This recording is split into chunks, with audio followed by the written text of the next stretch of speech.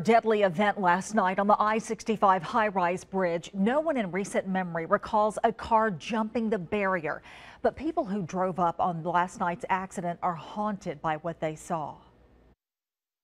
Traveling with his son on I-65 last night, at first John Mudridge spotted bits of tire tread on the road. Then he couldn't believe his eyes. Seen something move and uh, when I when I seen the movement, then I, I like focused in on it, you know, and and that's when I seen the child sitting in the in the road, and it, I mean I just couldn't believe it, and I.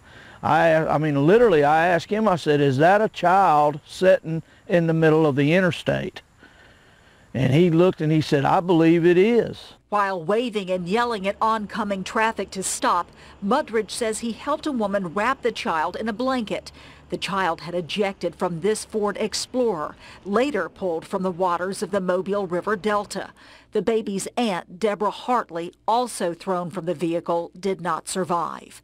Marine police rescued the four people inside the Explorer when it plunged into the river, including the driver, Hartley's fiancé, Arthur Lewis. You hope all the best for them. I mean, they've lost a loved one, and, you know, I mean, it's, uh, it, it's something terrible. I mean, you know, it's hard for them to, it, you know, it's something that, you know, I surely won't forget it, and I wasn't even involved in it. Mudridge says he nearly got sick from what he witnessed. When he got home, he had to lie down. In the meantime, the family involved in the crash has taken on an attorney.